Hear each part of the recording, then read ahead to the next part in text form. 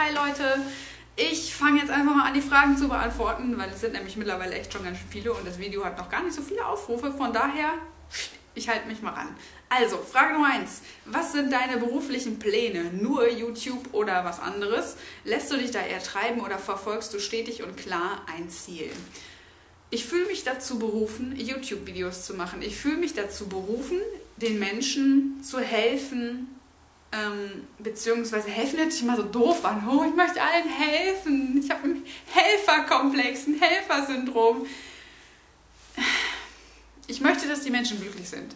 Und wenn ich dazu etwas beitragen kann, das, oder mein Wissen dazu etwas beitragen kann, meine Erfahrungen dazu etwas beitragen können, ja, ähm, dann bin ich glücklich. Ja. Wenn, die, wenn sie glücklich sind, wenn die Menschen glücklich sind, ja, dann bin ich auch glücklich. Und das ist das, was, was meine Berufung ausmacht. Das ist das, was ich hier mit YouTube mache. Ja, auf jeden Fall. YouTube ist mein Fokus. Auf jeden Fall. Ähm, ich nehme da jetzt mal kurz eine andere Frage, ähm, die etwas höher steht, vorweg. Und zwar, wünschst du dir Kinder? Wenn ja, wie möchtest du deine Kinder ernähren? Frage Nummer eins. Wie wünschst du dir Kinder? Nein, ich wünsche mir keine Kinder. Aus dem Grunde, weil ein Kind mir sehr viel Zeit ähm, wegnehmen würde von meinen Zielen und das ist eben möglichst viele Leute zu erreichen, ja.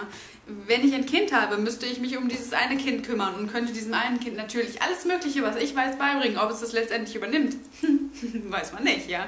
So, ähm, aber durch YouTube habe ich ganz viele Kinder, ja, ganz viele Menschen, denen ich einfach was beisteuern kann auf ihrem Weg, was sie wirklich wollen, ja, was nicht äh, ja eine Be Erziehung ist oder sowas, ähm, die man dem Kind vielleicht, weil man selber davon überzeugt ist, dass es gut ist, weil es einem selber glücklich macht, ähm, die man dem Kind dann aufzwingt und letztendlich, wenn das Kind erwachsen ist, sagt es, oh, alles scheiße hier, ich mach doch was anderes, ja. Ähm, im Grunde genommen habe ich durch YouTube eben eine viel größere und viel weitere Reichweite und das ist das, was mich daran so sehr reizt. Ja? Ähm, ich will gar nicht, dass die Leute so denken wie ich oder dass ich irgendwie für die ein Vorbild bin oder sowas. Ja, das, ist, das, das will ich alles gar nicht. Ja? Ich will auch gar keine Follower und sowas. Ja? Ich will einfach nur, dass die Leute ähm, sich von mir Informationen raussaugen können, die, sie, die, die für sie nützlich sind. Ja? You know. Okidoki. Welche Änderungen im Hinblick auf deine Lebensträume kannst du im Zuge des Minimalismus feststellen? Ähm, gar keine. äh, nicht wirklich, ja. Also ich war nie jemand, der, der so unglaubliche Träume hatte wie, oh, ich möchte unbedingt ein großes Haus, ich möchte unbedingt ein tolles Auto und ich hatte nie wirklich materialistische Träume, Lebensträume oder Lebensziele, sondern immer, mir ging es immer darum, dass ich glücklich bin und dass ich emotional ausgeglichen bin und dass ich, ähm, dass ich mein Leben mag, ja. Weil ich bin ein sehr gefühlsbetonter Mensch und ich freue mich da total drüber und ich mag das auch sehr an mir. Und ähm, ja, im Zuge des Minimalismus hat sich daran nichts verändert. So, weil ich war halt nie wirklich materiell fokussiert. Ich denke, damit habe ich die Frage hoffentlich richtig beantwortet.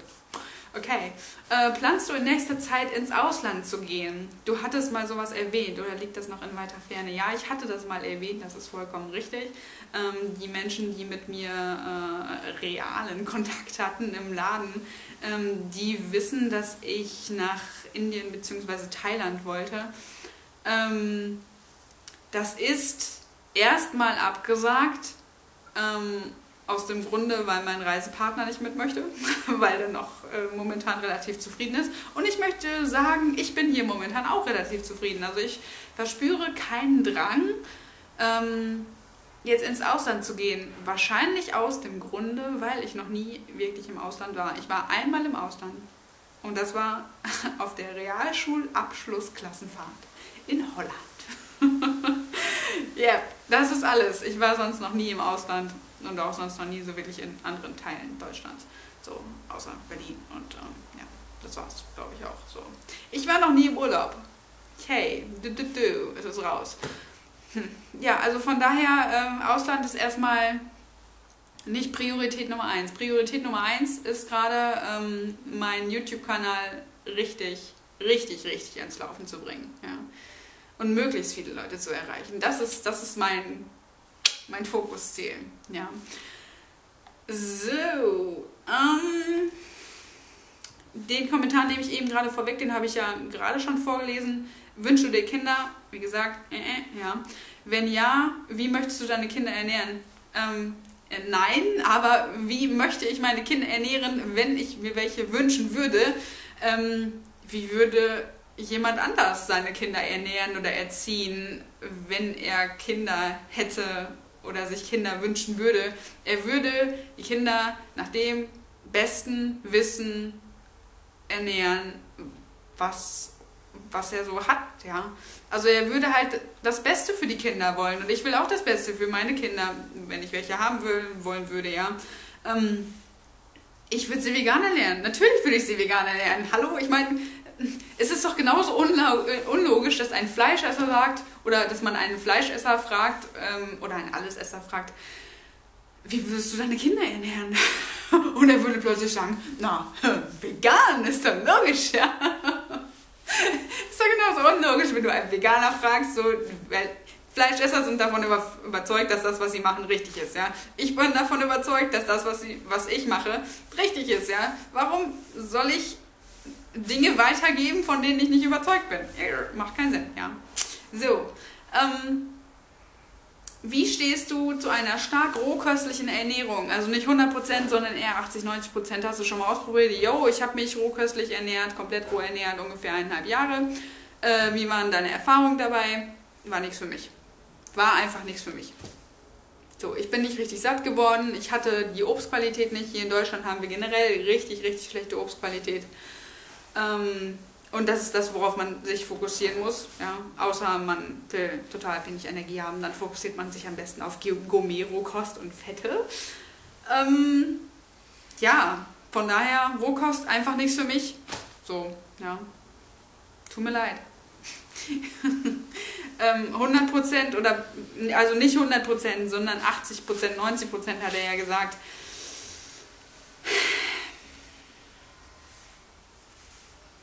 ja, im Sommer gibt es mal wieder Tage, so, ja, da werde ich mich sicherlich so ernähren, aber momentan sehe ich da für mich persönlich keinen Sinn drin. Ich mag auch Stärke. Ich finde Stärke cool.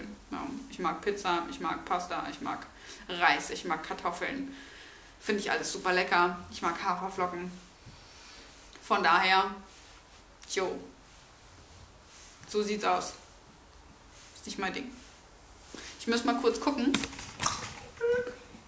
8 Minuten 15 und der Akku blinkt schon wieder. Okay, äh, ja, wir sehen uns im nächsten Teil. Tschüss.